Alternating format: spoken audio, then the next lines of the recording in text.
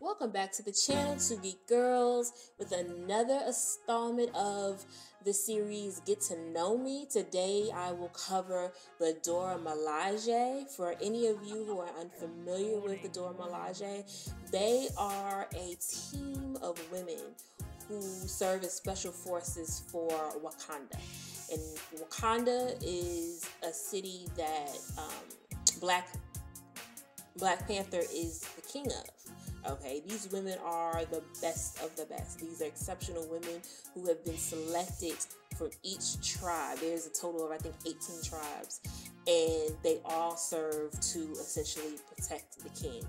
They are the fiercest and most accomplished female fighters in the Marvel Universe.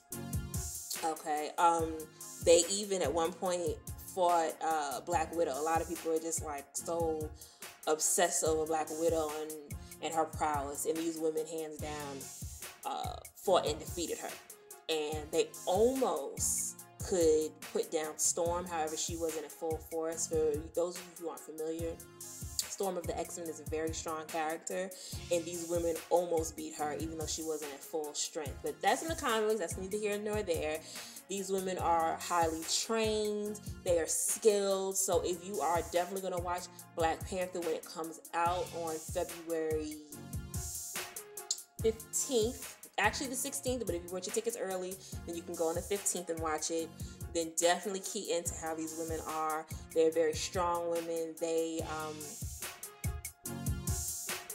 they are trained to kill, however, they avoid it as much as possible. Um, but they they are very very strong characters and they do not mess around. So I'm very much excited to see when the movie comes out. Um,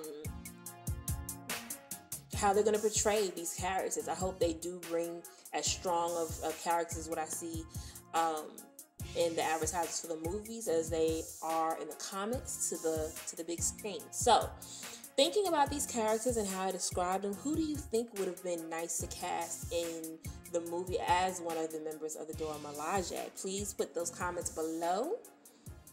As always, like the video. If you like what I have discussed, please share it so people will be familiar with these very strong women of the Dora Milaje. And as always, you guys,